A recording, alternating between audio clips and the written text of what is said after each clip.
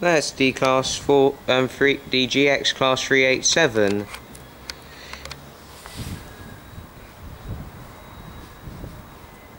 Very nice.